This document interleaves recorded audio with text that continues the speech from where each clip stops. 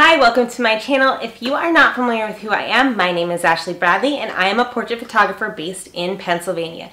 In this video, I am going to be taking you behind the scenes of a maternity session as well as showing you how to do a backlit image with atmosphere spray and gels. So stick around.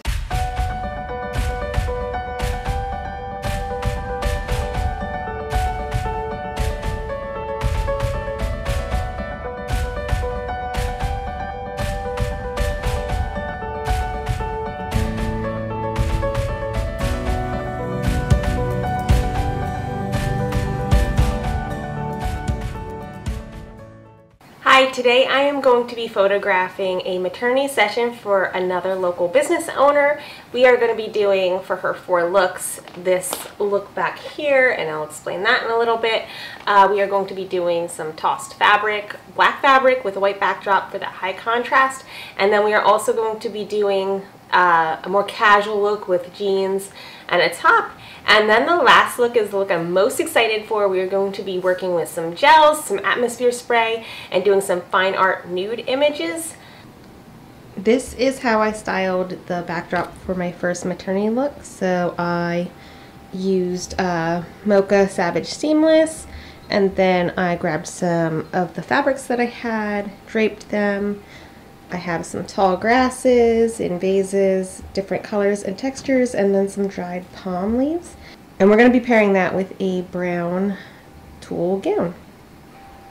One of the looks I'm most excited for is incorporating a second strobe light behind the mother, or mother-to-be, and then um, adding some atmosphere spray in front of it with a yellow or orange gel. I'm undecided yet, but I think I'm going to be shooting it with the mocha backdrop just because the client had said that she likes more muted tones and I don't want it to be too bright for her.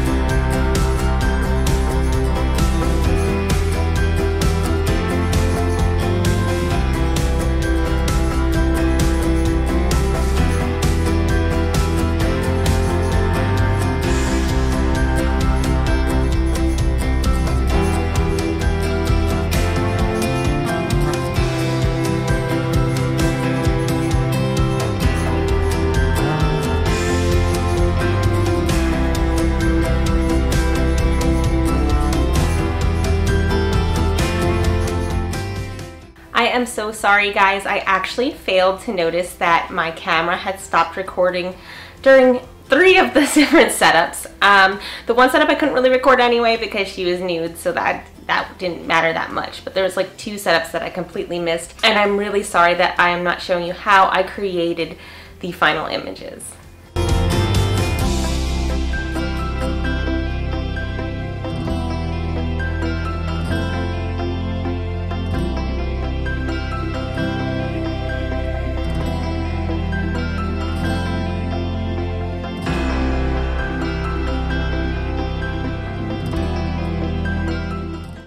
Alright guys, since I failed to show the actual process with my client, I just wanted to go over how I created um, the gel effect with the atmosphere spray. So the way I lit it is I have two strobes going on. It is the Godox MS300, it plugs into the wall. Um, I have a very narrow studio, so I don't really need a battery powered um, strobe unless I'm going out, which I do have one for that reason. But I just like this because then I don't have to worry about charging the battery. It's just there.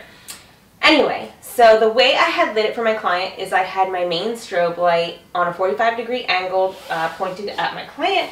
My client was sitting just about like right here. And then I had another strobe behind her. For the strobe behind her, I actually attached a gel to it. Now this is the cover for the modeling light. So I just had, uh, so I apologize guys. It's just this adapter on the front. I have no idea what it's called. It just completely missed my mind. Um, but that was on the front and then I had the desired gel color attached to that. Um, when I was ready to take the picture, my main strobe was set one stop lower than the back strobe. Um, for me, I just wanted the back strobe a higher power than the front strobe because the client had wanted images where it was more shadows in the front. Now, you could probably do where the front strobe is actually one stop higher than the back strobe and then the client would be more lit from the front and then the back would just have some color. Um, but to get the image that you're seeing, the front was one stop lower than the back. Um, then what I just did is I took some atmosphere spray that I bought on Amazon and then sprayed in front of the light.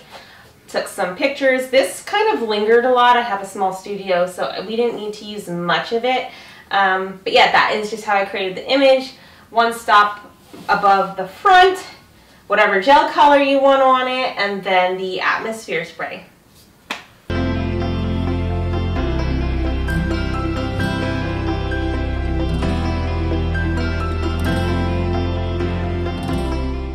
Alright guys, I hope you enjoyed this video. I hope you found it helpful in some way, shape, or form. Please like and subscribe to my channel and I will see you hopefully next Tuesday. Bye.